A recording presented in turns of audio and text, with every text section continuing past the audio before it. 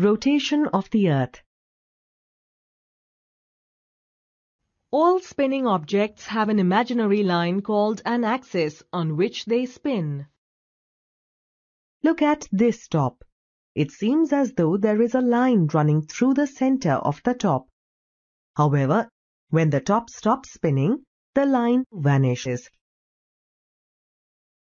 The Earth too has an axis which passes through the north and south poles. The Earth also spins around its axis. Can you spot the difference between the Earth's axis and the axis of the top? The axis of the top is vertical, but the axis of the Earth is slightly tilted. It is at an angle of 23 and a half degrees. The spinning of the Earth around its axis is called rotation. The rotation of the Earth always takes place in the same direction, from west to east. Do you know how much time the Earth takes to rotate on its axis once? The Earth takes 24 hours to spin around its axis once. Look at this ball. The side of the ball facing the torch receives light, while the opposite side remains dark.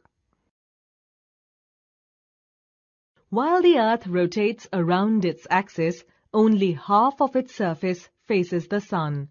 The portion that faces the sun receives light and experiences day, and the portion in darkness experiences night. If the earth did not rotate, the areas experiencing day and night would be permanently fixed. Do you know what the circle that divides the day from night on the globe is called? It is called the circle of illumination. When the sun is overhead at any point on the earth's surface, the time at that place is 12 noon. As the earth moves from the west to east, the dark half gradually faces the sun. This movement produces dawn and dusk, the periods of diffused light between day and night. The part of the day just before the sun rises in the east is called dawn the part of the day when the sun sets in the west and there is still some light is called dusk. Can you give another word for dusk? Another word for dusk is twilight.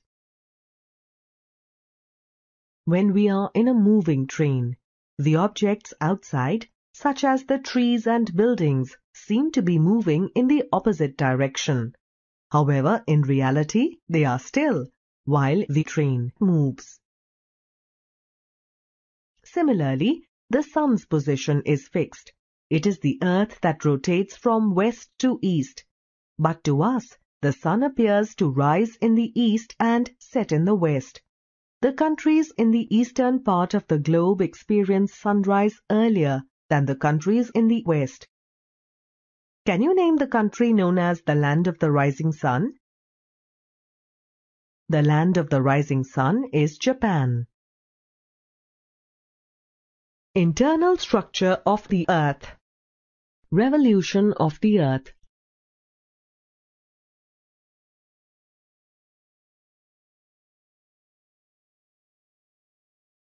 The Earth moves around the Sun in a fixed elliptical path. The path is called its orbit. The Earth moves in its orbit at a speed of 30 kilometers per second.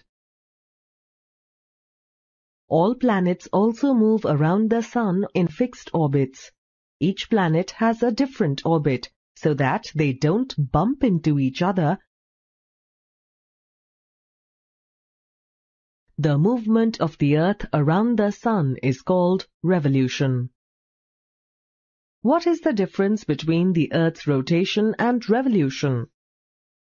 The spinning of the Earth on its axis is called rotation while the movement of the earth around the sun is called revolution. The earth takes 365 days, 6 hours and 8 minutes, approximately 365 and one-fourth days to complete one revolution around the sun. That is why a year has 365 days. Though the Earth takes 365 and one-fourth days to complete one revolution around the Sun, we take 365 days as one year. The remaining one-fourth days are added to the year after every four years. The year with 366 days is called a leap year. To which month in a leap year do we add the extra day? In a leap year, we add the extra day to February.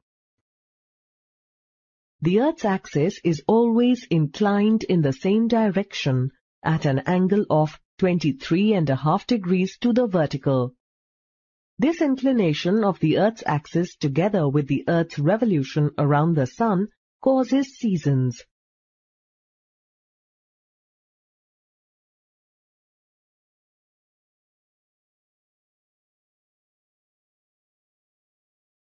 Do you remember what is the Earth's axis?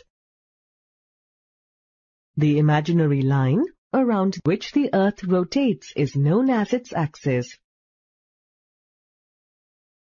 The equator divides the Earth into two halves known as hemispheres. In position A, the northern hemisphere is more tilted towards the Sun than the southern hemisphere. Thus, in this position, the northern hemisphere is hotter and experiences summer, Meanwhile, the southern hemisphere experiences winter. In position B, the sun's rays fall directly on the southern hemisphere while they fall on the northern hemisphere in a slanting manner. What season will the southern hemisphere have in position B? When the earth is in position B, the southern hemisphere will be hotter and it will be summer there. Meanwhile, the northern hemisphere will experience winter. Equi means equal and nox means night. Equinox is the time when all places on the earth have equal duration of day and night. Each year, on 21st March, the spring equinox, the sun shines directly on the equator. Again on 23rd September, the autumn equinox, the sun shines directly on the equator. Sol means the sun. Solstice means the standing still of the sun. Solstice is either of the two times of the year at which the sun reaches its highest or lowest point in the sky at midday.